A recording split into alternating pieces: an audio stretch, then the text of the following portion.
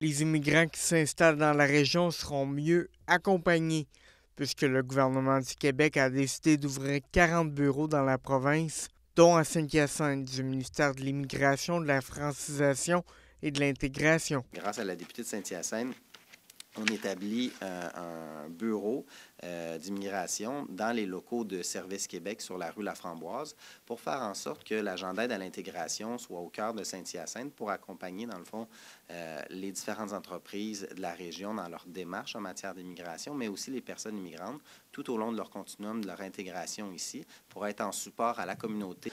L'important, c'est que les gens s'établissent dans les différentes régions du Québec, dont Saint-Hyacinthe, parce qu'il y a des besoins en matière de main-d'œuvre. Puis nous, comme ministère de l'Immigration, on veut s'assurer d'être présent s'il y a des besoins pour la communauté, euh, déjà avec les organismes communautaires aussi, de faire le pont, mais surtout d'accompagner à chacune des étapes la personne immigrante au niveau de la francisation, au niveau de l'intégration, s'il y a des difficultés. J'en profite pour euh, annoncer une subvention totale de 92 577 dans le cadre du programme Mobilisation Diversité. Donc, un montant de 32 500 est accordé à la MRC des Mascoutins et une somme de 60 077 est accordée à l'organisme Forum 2020. Forum 2020 pourra ainsi tenir de nouvelles activités pour favoriser une meilleure intégration, comme les 499 personnes qui se sont installées chez nous en 2018. C'est un projet de rapprochement interculturel à divers, à divers niveaux.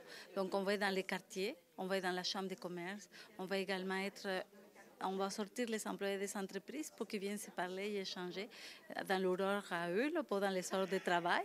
Et on aura également des rencontres entre citoyens. Donc, les gens qui veulent participer, c'est ouvert au public.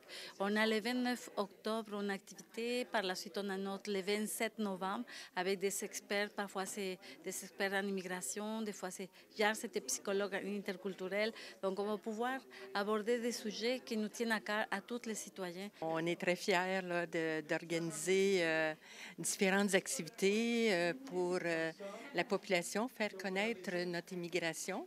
Et entre autres, on aura un festival interculturel le 16 novembre 2019 à l'automne. Et ça aurait lieu au centre d'achat ici à Saint-Hyacinthe. Et nous invitons toute la population à venir euh, visiter notre festival, à venir voir euh, toutes les activités. La MRC des Mescoutins qui assure un leadership fort en matière d'attraction sur notre territoire. La ville de Saint-Hyacinthe s'implique activement dans l'accueil des nouveaux arrivants. Forum 2020, on en a parlé à plusieurs reprises, mais il travaille très fort à régionaliser les immigrants établis à Montréal euh, vers notre région.